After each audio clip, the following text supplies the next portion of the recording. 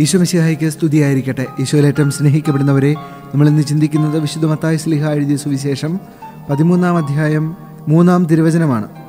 വിതക്കാരൻ വിതയ്ക്കാൻ പുറപ്പെട്ടു അവൻ വിതച്ചപ്പോൾ വിത്തുകളിൽ കുറെ വഴിയരികിൽ വീണു.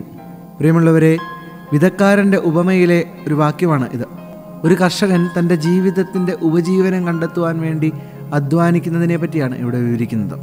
അതായത് വിത്ത് വിതച്ച് അതിനെ പരിപാലിച്ച് അതിന്റെ വിളവെടുത്ത് ജീവിതം സന്തോഷപ്രദമാക്കുവാൻ പരിശ്രമിക്കുന്ന ഒരു വിധക്കാരൻ. നമ്മുടെ ജീവിതത്തിൽ ഈ വിധക്കാരൻ നൽകുന്ന വലിയൊരു സന്ദേശമുണ്ട്.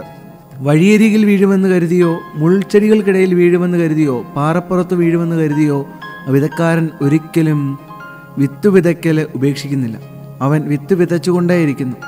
എന്നാൽ കുറേയേറെ വിത്തുകൾ നല്ല നിലത്ത് വീഴുന്നുണ്ട് എന്നതാണ് അവന്റെ സന്തോഷം.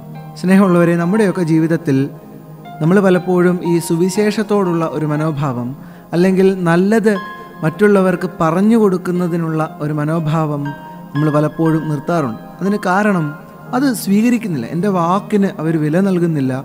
അല്ലെങ്കിൽ ഞാൻ പറഞ്ഞിട്ട് കാര്യമില്ല അവർ നന്നാകില്ല എന്നുള്ള ഒരു ചിന്ത പലപ്പോഴും നമ്മെ അലട്ടാറുണ്ട്. അതുകൊണ്ട് തന്നെ മറ്റുള്ളവരുടെ തെറ്റുകളെ കണ്ടു കഴിയുമ്പോൾ അതിനെ തിരുത്തുവാനോ അല്ലെങ്കിൽ മറ്റുള്ളവർക്ക് നൽകേണ്ട നല്ല ഉപദേശങ്ങളെ പകർന്നു നൽകാതിരിക്കുകയോ ഒക്കെ ചെയ്യുന്നത് ഇതുകൊണ്ടാണ്.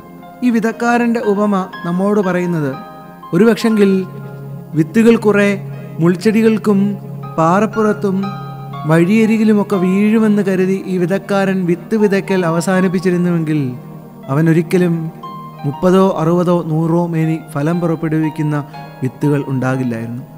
അതുമല്ലെങ്കിൽ അവന്റെ ജീവിതത്തിൽ സുഭിക്ഷമായി ഭക്ഷിക്കുവാനുള്ള അവസരങ്ങൾ നഷ്ടപ്പെട്ടു പോയിരുന്നു. അതുകൊണ്ട് പ്രിയമുള്ളവരെ നമ്മുടെ ജീവിതത്തിൽ നല്ലത് പകർന്നു നൽകുവാനും സുവിശേഷം പ്രഘോഷിക്കുവാനും ലഭിക്കുന്ന അവസരങ്ങൾ നമ്മൾ പൂർണമായി വിനിയോഗിക്കേണ്ടതുണ്ട്.